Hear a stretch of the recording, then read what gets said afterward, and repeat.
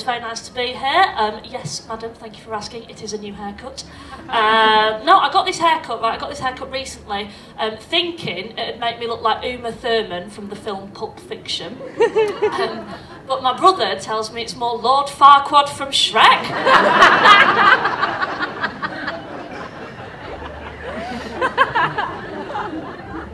I feel like that was the collective sound of a room going, your brother's not wrong. but it's fine, it's fine, we'll march on. So yeah, I'm Maisie Adam, or as somebody uh, referred to me at last year's Fringe, um, uh, cheeky northern working class comedian Maisie Adam, uh, which gets right on my tits, right? Um, because people hear this accent and they just assume like female Billy Elliot. um, but like, I'm not working class, and I would never pretend to be working class. I'm not working class. I've had meringue.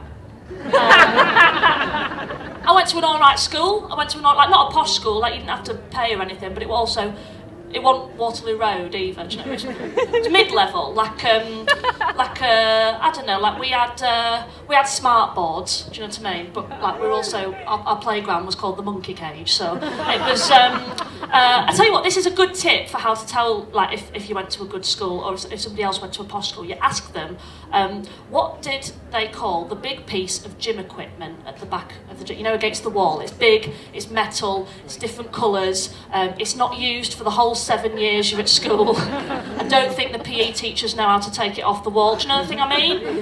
Right? At my school, it was called an apparatus. At a posh school, it's called an apparatus. Um, at a not so good school, it's just called um, wall bars. Um, and then if your school's like really in trouble, it's just called bars on the window. Um, oh, some of you went to those ones, lovely. Um, can I just check, right, because we used to play a game um, on the wall bars at my school, and I assumed it was a game that was played up and down the country in every secondary school, but the more I'm doing this bit of material, I'm starting to realise it might just have been my school, um, which, if that's true, is terrible, because I went to a church school.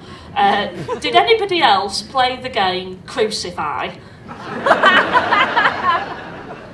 No, just just us at the Church of England school. Honestly, um, Crucify was a game, right, where you'd run into the gym before the teachers had got in there, um, and you and uh, one other person uh, would race to the top of the wall bars, right? You'd run right to the top one, and you'd hook your arm into the top bar, and let everything else dangle, right?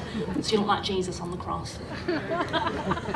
and you just long it out. You just, just so you could last the longest on there, right? Um, I did it with a girl called Caitlin Bell. She fainted and dropped the whole length. she rose again three days later. Thank you very much. Uh, I know, I know. I, uh, I, learned, I learned how to drive when I was at school. I learned how to drive, um, but I took seven, took seven times to pass my test. Seven, that's bad in it, seven times to pass my test. Uh, there was only um, two invigilators at the test centre, so um, I had quite a few of them quite a few times. Uh, I turned up to like test number five and I was like, hi Helen, why are you wearing a helmet? um, test number five, test number five um, drove uh, over a roundabout. Uh, yeah, test test number six, um, I had to do a reverse around a corner, I thought it was going really well, and she went, Maisie, can you stop the car please? I said, yes, of course, why? She went, you've hit a pram. Um, so great, you guys have been lovely, I've been Maisie Adam, thank you very much. Thank you,